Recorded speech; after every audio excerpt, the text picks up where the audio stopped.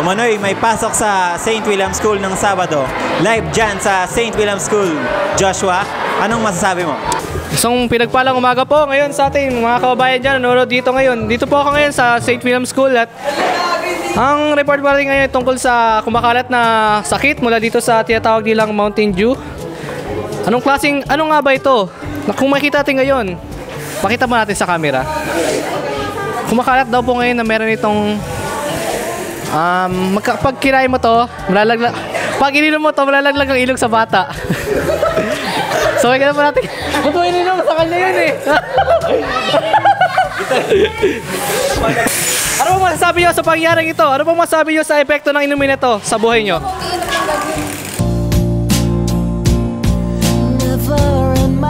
Ito, mga kapanayan po natin ngayon ang may-ari ng inumin na ito. Ano pong masasabi nyo? Anong feeling po sa pakiram anong pakiramdam pag uminom po kayo ng inumin na yan? Masarap. Nakaka... Ano may piliin mo? Talong o kamatis? Wala. Putang ina! Magandang hapon kabayan. Dito live dito tayo ngayon sa St. William School sa hallway ng Senior High School. Mangharap tayo ng at, mga estudyante dito na ating mga kapanayam. So, tara. Sir, ano po masabi niyo? May pasok bukas ng Sabado. Buisit. Bakit? Papahinga lang dapat ako bukas. Pasok. Ayaw mo mag-aral? Gusto. Ayaw mo na baon? Gusto. Eh, tayo na, gusto mo pala eh. Pasok ka na ah. Pasok ka bukas, may pasok bukas ng umaga. Anong pipiliin mo? Pakwan na hilaw o pakwan na lamog? Pakwan na hilaw. Bakit? Kasi pwede pang mahinog. Anong pipiliin mo? Talong o hotdog? Mas masarap yung hotdog sa talong. Bakit? Favorite ko yun eh. Anong pipiliin mo? Itlog na malat o itlog na kamatis? Ang pangit naman yun ng matis. So- Parang ka naman bagong tuli na. So, Itlog na maalat. bakit? Putang ina naman eh. Masarap. kasi. Yun nga, masarap nga kasi. Hindi ako makain ng parehas eh. Anong gusto mo? Maning basa o maning hubad? Mas gusto ko yung maning basa. Bakit? Siyempre wet na wet. Sarap siya. Putang na wet na wet daw. Da- Diyan ka na nga. Bye-bye. Salamat. Anong pipiliin mo? Itlog na maalat o itlog na nakakamatis? Itlog na maalat. Bakit?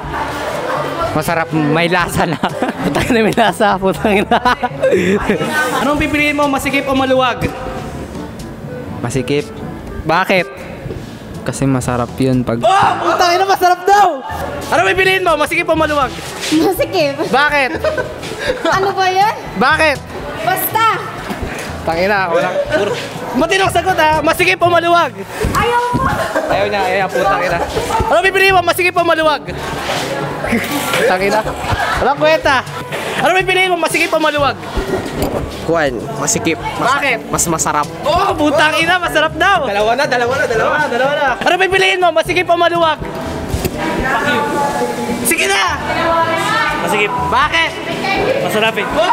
Tatlo na, tatlo na. Putang ina, masasarap daw oh. Sir, sir, sir, mag-interview. Sir, interview. Tungkol kay Majin Buu. Sir. Ano pong masasabi niyo tungkol sa sa presyo ng manok ngayon? Masyadong mahal. Dapat magmura na sila. Yun lang. Ano masasabi mo sa bird flu? Ah, dapat, ay, hindi yun may iwasan kasi isa yun sakit ng mga manok. Yun lang. Putang ina kasi, ba't may mga manok yung mga sakit? Sir, pwede po na ma-interview? Sure, sure. Para po natin ngayon ang napakaganda. Yes, okay, so last kami. Ano mo masasabi tungkol sa presyo ng manok?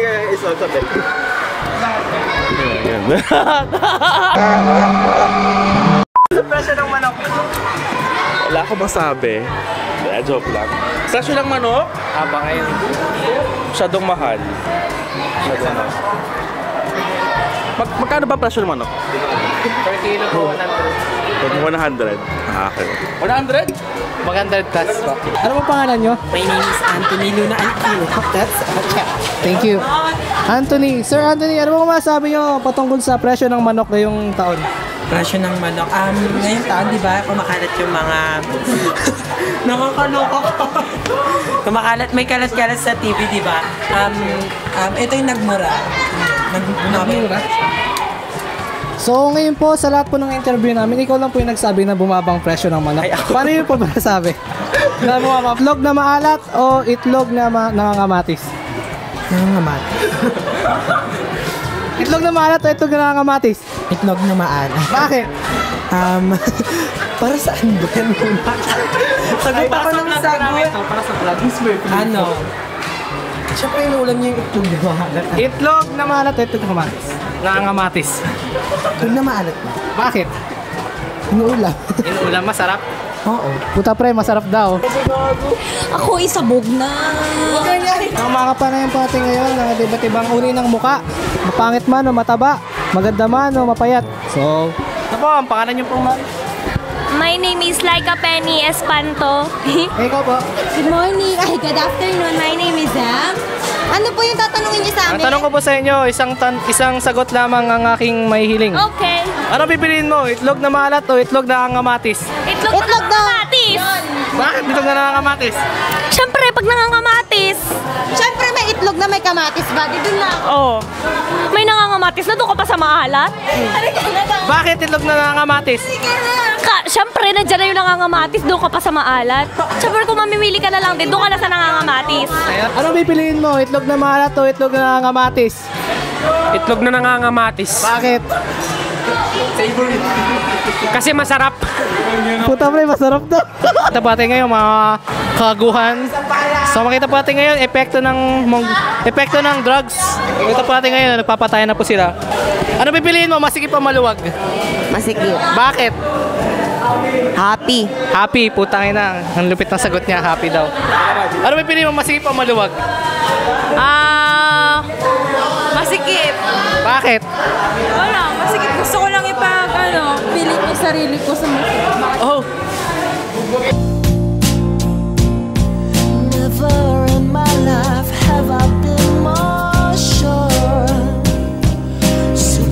ngayon tayo sa mga kapanayan po natin ang pinaka pinaka pinaka sikat na tao sa buong sa buong bayan ng Langgam. Langgam. Ano pong pipiliin nyo? Talong o hotdog? Um, hotdog. Bakit? Mas juicy. Juicy. E po rito po tayo ngayon sa St. William School, sa room po ng St. Benedict. Kung kita po natin ngayon, mulan po ngayon at kadalasan pong balita po galing po sa government, sa office ng barangay namin ay galing po sa, ayon sa report ng ay sa report ng mula sa office ng barangay dito sa San Marcelino ay Aksidenteng nalaglag ang ilog sa bata. Ay, este, ang bata sa ilog. So kami po nakita po natin ngayon dito, marami pong mga tayo dito. Karat, ay, mga tao po pala. Sagal. Ma'am, ano ba masasabi niyo tungkol sa pagtaas ng presyo ng marat na itlog at ang kamatis? Hindi ko po alam, di po ako namamalengke. Ah, salamat po. Napakagandang sagot. Sagot. ako! Bawal po. Hindi po tungkol kay bata. Hinahanap Hanap po tayo ngayon. So yun po, nakalap tayong balita mula dito sa St. William School. Power! Balik sa iyo, kabayan. Maraming salamat kababayan. At ngayon, pupunta tayo sa sports. Sa sports balita.